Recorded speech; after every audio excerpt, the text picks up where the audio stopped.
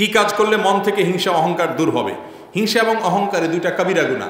কারোর ভালো চা দেখলে যদি আপনার অন্তরে জ্বালা পোড়া করে, অস্থির লাগে, বুঝতে হবে আপনার মধ্যে হিংসা আছে। কাউকে যদি ছোট মনে হয়, তুচ্ছ মনে হয়, নিজেকে কিছু একটা মনে হয়, বুঝতে হবে আপনার মধ্যে কি আছে? অহংকার আছে। কেউ হক কথা বলেছে, আরে ও বলছে, তার কথা কেন শুনতে হবে? বাতারুল হক, হককে অস্বীকার করলেন, বুঝতে হবে অহংকার আছে। কেউ কথা বলতে গেলে, আরে রাখো তোমার কথা, দমায় রাখলেন, বুঝতে হবে অহংকার আছে। এই অহংকার দূর করার জন্য কি করতে হবে? নিজের চাইতে যাদেরকে ছোট মনে হয়, তুচ্ছ মনে হয়, সে মানুষগুলোকে বেশি বেশি সালাম দিতে হবে। তাদের সাথে বেশি বেশি মিশতে হবে, তাদের সাথে বেশি বেশি বসতে হবে। তাতে নিজের অহংকার দূর হবে ইনশাআল্লাহ। আর যার প্রতি হিংসা হয়, তার জন্য দোয়া করতে হবে। দোয়া করলে ইনশাল্লাহ কি হবে? অন্তর থেকে হিংসা দূর হবে। কাউকে আল্লাহ ভালো কিছু দিয়েছেন, আপনার কাছে খারাপ লাগতেছে, সে কেন পাইছে? হিংসা হচ্ছে। দোয়া করেন আল্লাহ, তাকে আরও দেন।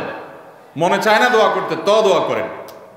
এক ছাত্র প্রশ্ন করছে, কয় হুজুর, অন্যের জন্য দোয়া করলে নাকি দোয়া কবুল হয়? এখন আমার সাথে যার কম্পিটিশন আমি যদি দোয়া করি, আল্লাহ তার এ প্লাস দেন তাহলে তো আমি হারে যাব। আমি তো বলব, আল্লাহ সে ফেল করুক।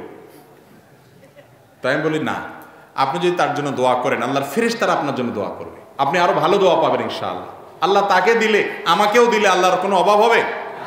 এই জন্য হিংসুক যখন কারোর ভালো দেখে হিংসা করে, এর মানে হলো, সে মনে করে যে আল্লাহ তাকে দিলেও আমাকে দিতে পারবে না। না, আল্লাহ তাকেও দেখ, আমাকেও দেখ। তারটাতে আমার দুঃখ নাই। আল্লাহ আমাকেও দোকে আমিও চাই। এরকম করলে সেটা হিংসা হবে না।